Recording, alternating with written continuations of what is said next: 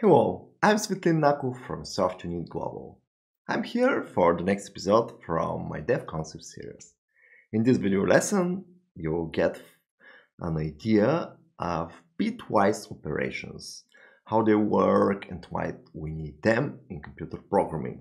I'll explain and demonstrate the main bitwise operators, not, and, or, XOR, shift left and shift right, and I will introduce the concepts of bit masks and how to use them to process data at bit level.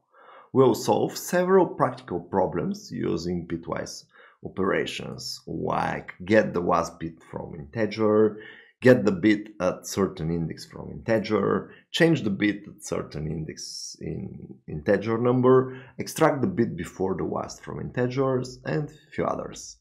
I'll give you a few examples of real-world applications of the bitwise operations, like uh, networking protocols, binary file formats, image formats, data compression standards like zip and gzip, cryptography and encryption and blockchain, signal processing, and many others. So make sure to like this video and subscribe to my YouTube channel if you enjoyed this content uh, because this helps a lot uh, for me to, to support this free activity. Alright, let's get into the bitwise operations video lesson. In this section, we shall learn about the bitwise operations in programming and how to process the bits in the integer numbers. We shall explain how to use the bitwise and or not and XOR as well as the bit shifting and bit masks.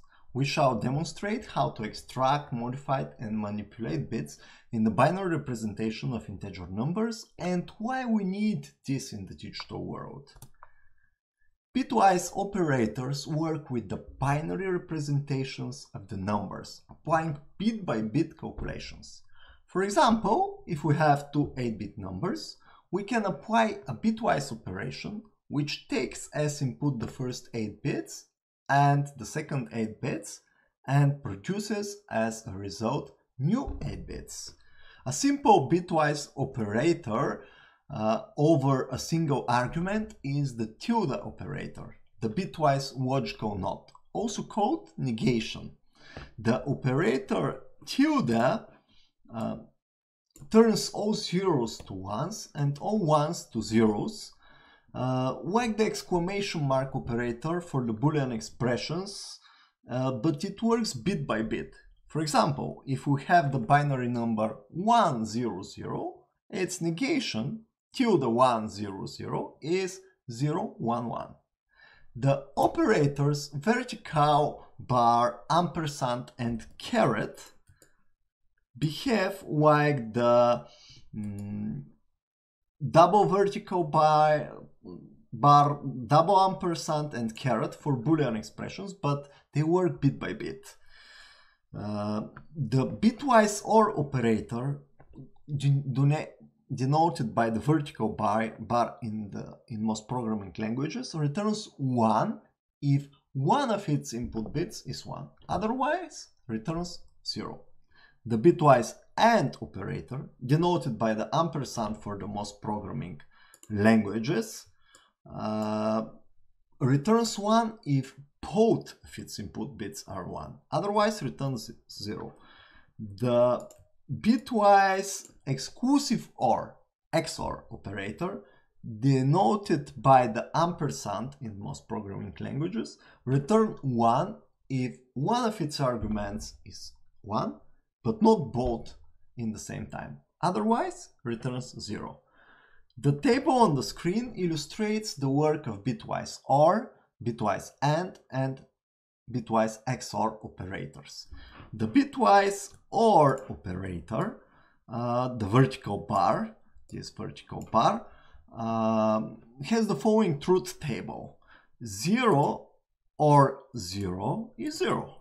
0 or 1 is 1. 1 or 0 is 1, 1 or 1 is 1. The ampersand bitwise AND operator has the following truth, truth table. Uh, 0, 0 and 0 is 0. 0 and 1 is 0. 1 and 0 is 0. 1 and 1 is 1. And the exclusive, bitwise exclusive OR operator, uh, just a moment, the bitwise XOR operator, the, the caret, the, the, the caret, uh, has the following truth table. 0 XOR 0 is 0. 0 XOR 1 is 1. 1 XOR 0 is 1. 1 XOR 1 is 0. Let's see several examples of bitwise operators over simple bit sequences.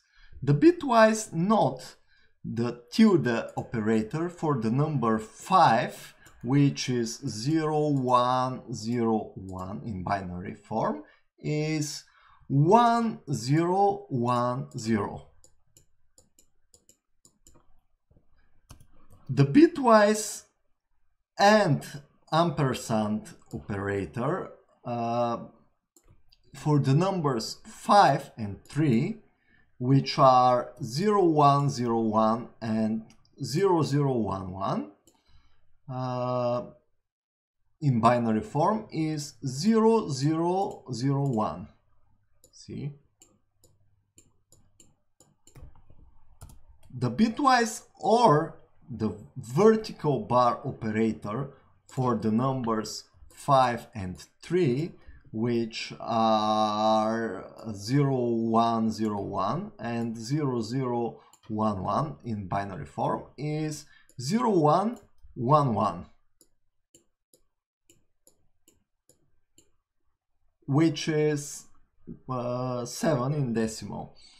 Uh, and the bitwise XOR operator uh, caret for the numbers 5 and 3 which are 0101 and 0011 uh, in binary form is 0110 which is 6 in decimal.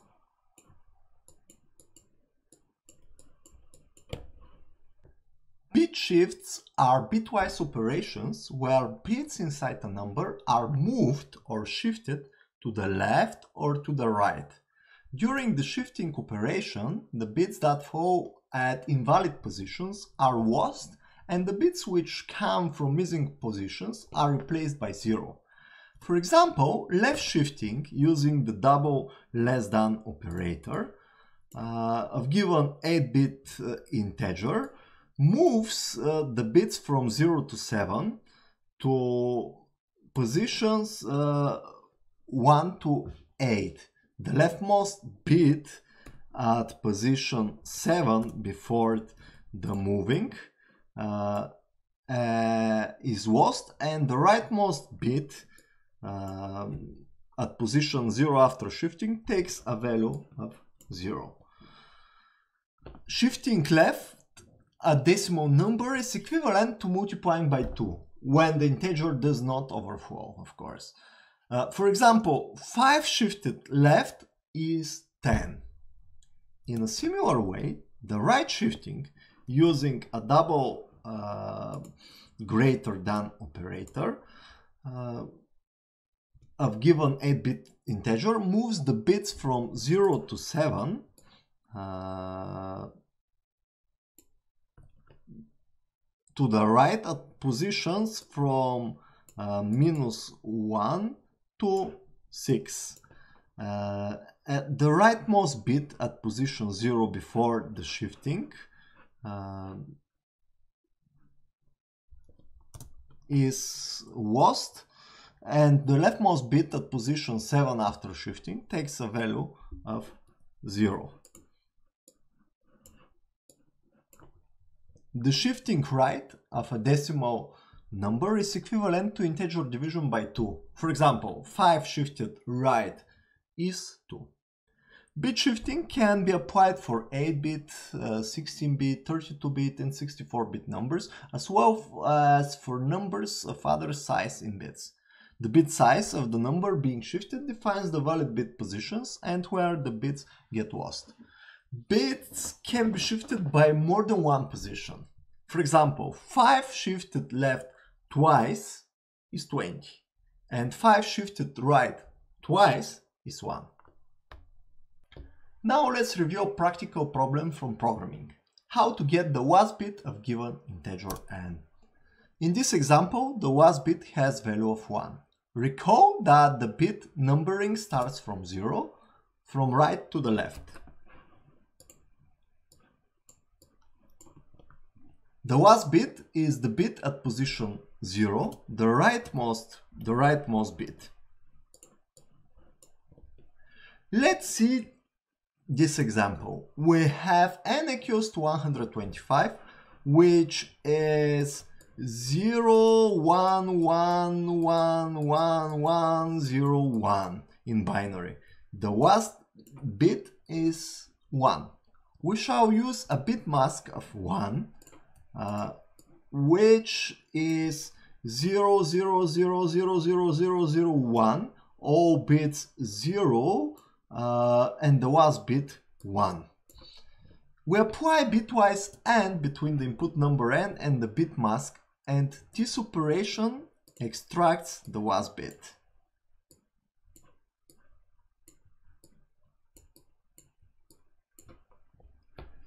The bitwise AND clears all the bits except the last one. If it is 0, it will remain 0. If it is 1, it will remain 1. All other bits will be cleared to 0.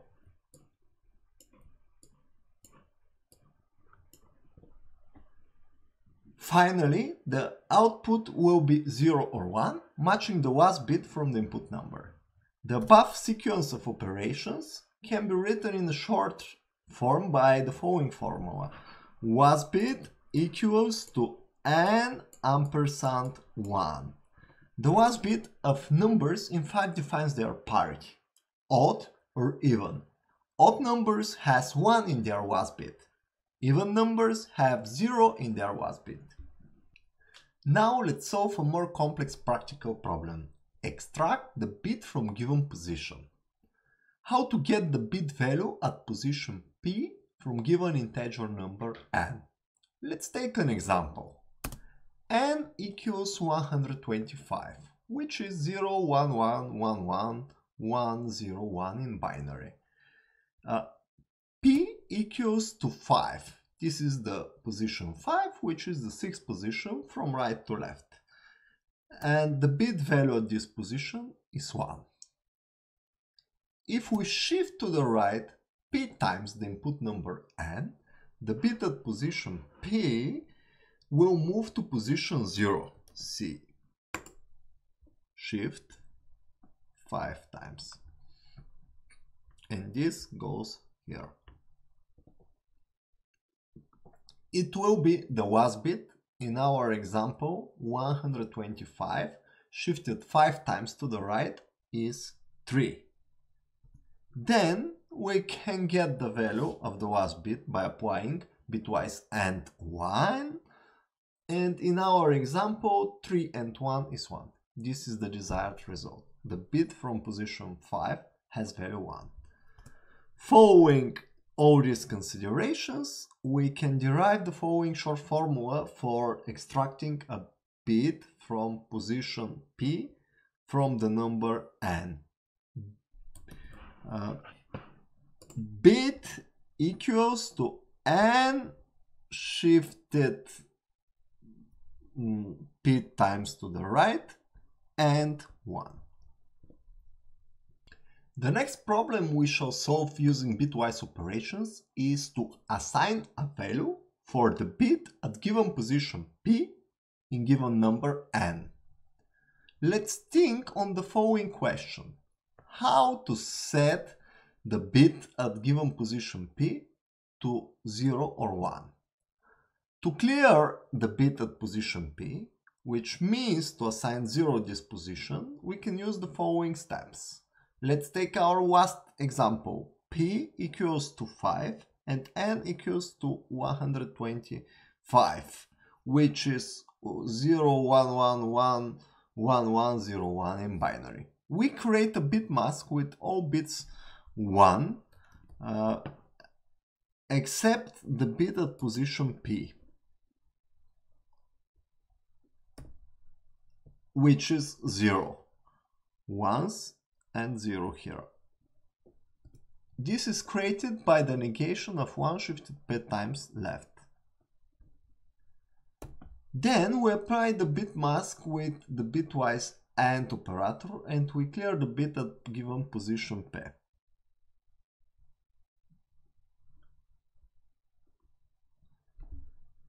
Where, while we keep all other bits unchanged.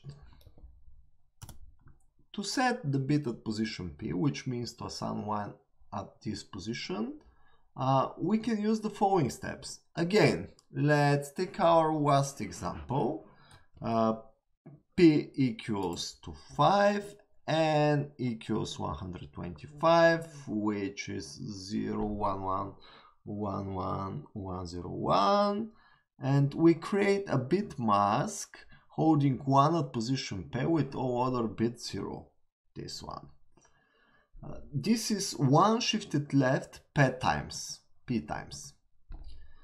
We apply this bit mask with the bitwise OR operator and we set to, to 1 the bit at position P while keeping all other bits unchanged. Now we are ready to solve the initial problem. Assign a value P for the bit at position P in given integer n. We can use the following short formula. n equals to n and the negation of 1 shifted left p times or p shifted left p times. The formula in fact does do two things sequentially. First, it clears the bit p in n. And next, if b is 1, it puts 1 at position p in n. Looks complex, but if we understand in depth how bitwise operations work, such calculations will be easy to construct. As you already can see, combinations of bitwise operations can manipulate the bits in integer numbers. But why we need these bit manipulations? Why we need bitwise operations? What is their application in the real world? In programming, in software systems, in hardware, in communications? Processing bits is important for many fields of computer science, information technologies, and software systems. Why? Networking protocols, data storage and file systems, binary file formats, memory management, data compression, data storage and file systems, data encryption, video streaming, Internet of Things IoT systems, low-level programming, computer graphics, and many others. Here are a few examples of bitwise operations where bitwise operations play an important role. In networking protocols, bit-level processing is often used. Many devices communicate using bit-level protocols. For example, the SYN flag in the TCP protocol's header is the bit number 1 from the 14 byte in the TCP packets. The TCP, which stands for Transmission Control Protocol, is the main protocol used to transmit data when you open a website or send email. So it's used very much in practice. Hence, the web browsers use bitwise operations to open a website. Many binary file formats use bits to save space. For example, PNG images, the portable network graphics image format, uses 3 bits to specify the color format used.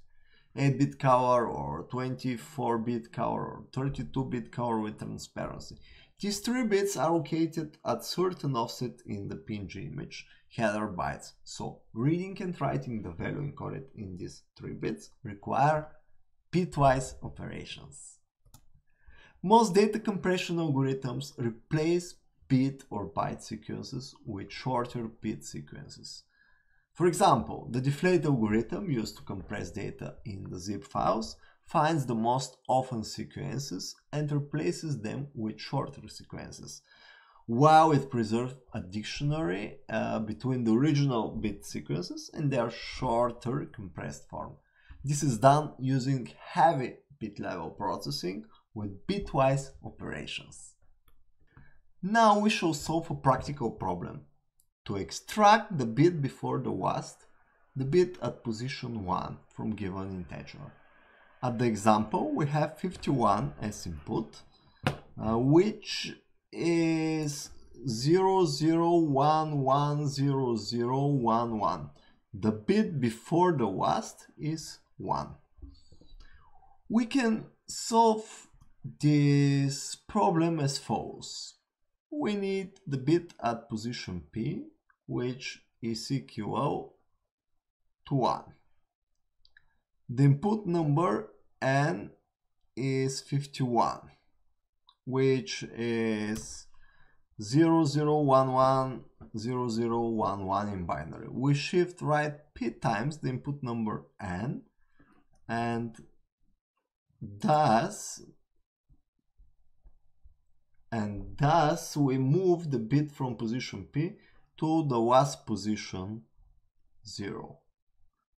Finally, we take the last bit using the well-known formula uh, ampersand 1 and ampersand 1. So, did you like this video lesson? Do you want more? Join the Werners community at softuni.org. Subscribe to my YouTube channel to get more free video tutorials on coding, dev concepts and software development. Get access to more free dev lessons and learning resources for developers and wannabe developers. Get free help from mentors and meet other learners. And it's all free. Yes, absolutely free. So join now at softuni.org. Meanwhile, well, you can check out my other videos from the Dev Concept series and from the Code Lesson series, where I explain and demonstrate many concepts and technologies from the software development profession, and I teach coding with hands-on exercises. So please check out my uh, YouTube channel, and also you can type in the comments below what topics you would like to see next. Goodbye, see you in my next video.